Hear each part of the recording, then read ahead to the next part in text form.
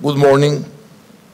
I am very pleased to be with you today to share together with the Minister of ICT and Innovation of the Republic of Rwanda in representation of uh, President Paul Kagame. Welcome. Uh, it's a pleasure. I am also very happy to be accompanied by the vice chairs of the Commission, Houlin Zhao and Audrey, Audrey Azoulay.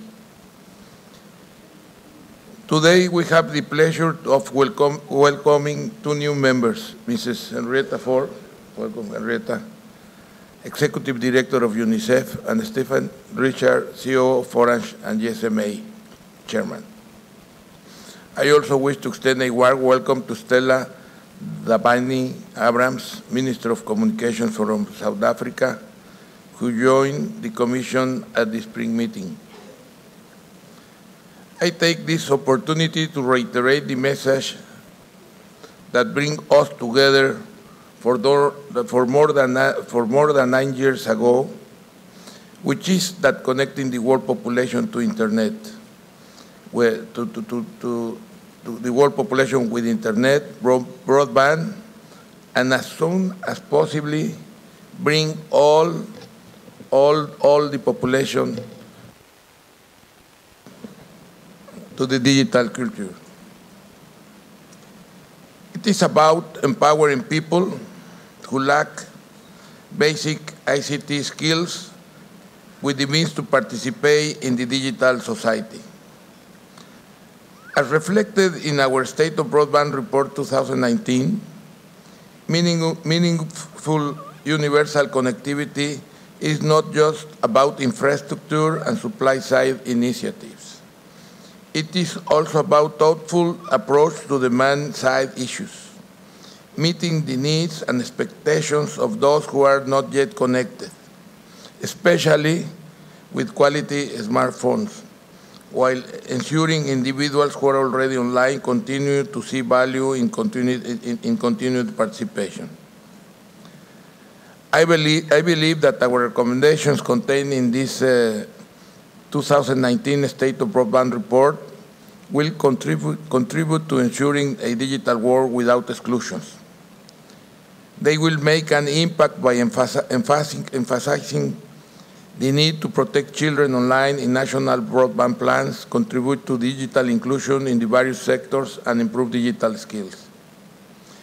To achieve our goals, we need to redouble our efforts. Very importantly, we need to create an adequate, an adequate environment for investment in broadband infrastructure, access, and use. I am very pleased that our agenda today includes a discussion on financing for sustainability and social good. Connectivity, the other, the other half, will be, will be and is our biggest challenge. I am looking forward to hearing from the leaders of the working groups in session three later this morning. A total of 26 specialized working groups were created by the Commission since inception.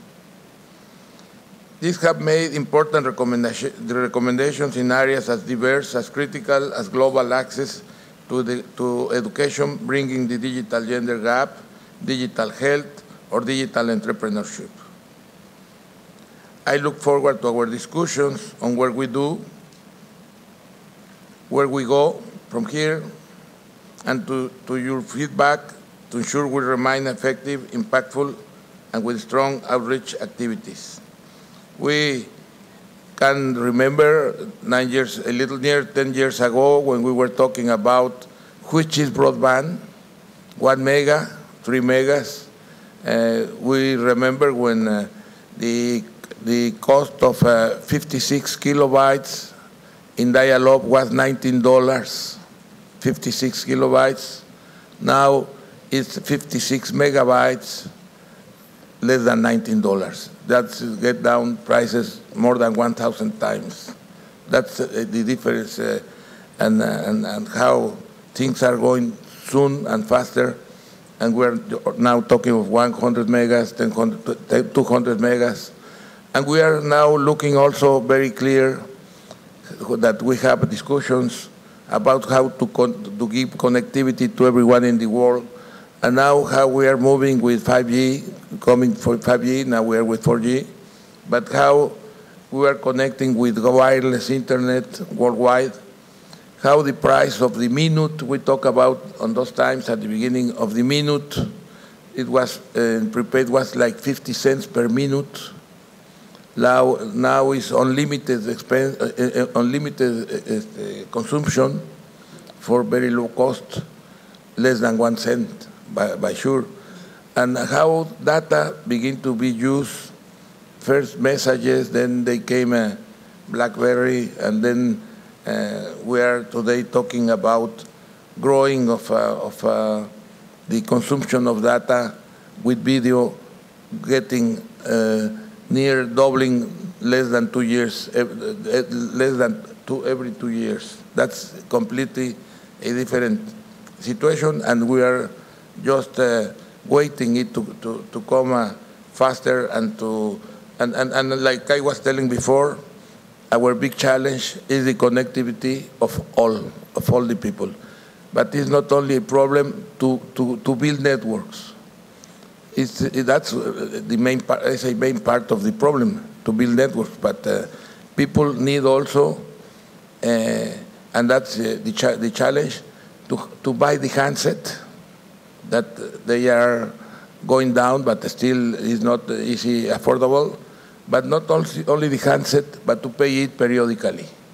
So the challenge is not the network, mainly is the possibility for them to have a handset and to have uh, uh, the money to pay periodically the consumption by uh, postpaid or prepaid. Uh, well, and as we move to celebrate our 10th anniversary next year, let us discuss in this meeting our strategy for our work ahead. Thank you very much, and thank you for all the work you have done in those these 10 years. Thank you.